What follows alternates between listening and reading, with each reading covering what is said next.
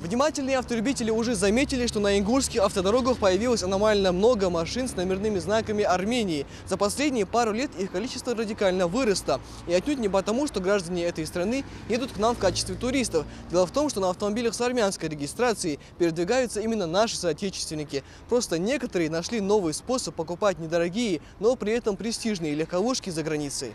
Дверь в страну дешевых иномарок для россиян открылась после вступления Армении в таможенный союз. Несмотря на все преимущества покупки автомобилей из этого государства, нельзя забывать о подводных камнях, с которыми может столкнуться автолюбитель. Например, приобретая транспортное средство, вы не сможете продать его в России, во всяком случае официально. Также у многих сложился миф о том, что автомобили с армянскими регистрационными знаками неуязвимы перед дорожными камерами. Возможно, раньше водителям и удавалось избегать так называемых писем счастья, но сегодня ГИБДД ГИБДД вышла на новый уровень в этом вопросе. Камеры фиксируют нарушения, они аккумулируются.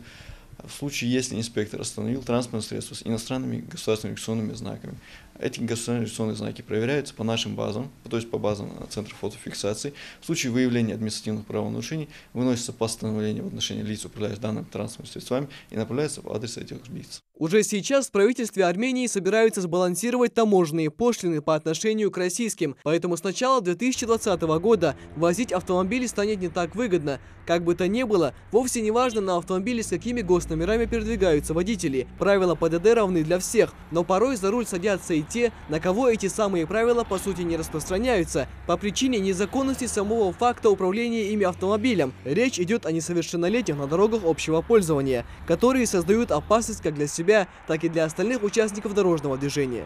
Это преступление отца, не столько ребенка, а преступление отца. Потому что он его посадил за руль, он его отправил за руль. Да, я, я не святой, бывают у меня такие. Мне вот, например, лень в магазин съездить. Я 14-летнего отправляю до магазина, ну там 100 метров. Но не дай бог, вот что случится, с каким лицом я выйду к людям и скажу, извините, я его посадил за руль, и за меня это.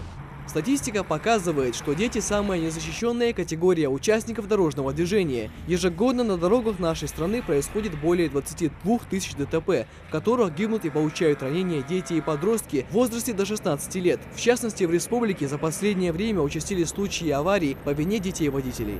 В период сентября месяца текущего года вынесено более 4 тысяч постановлений в отношении транспортных средств, зарегистрированных на несовершеннолетних. Хотелось бы напомнить, что к административной ответственности привлекается представитель несовершеннолетних, то есть это отец либо мать.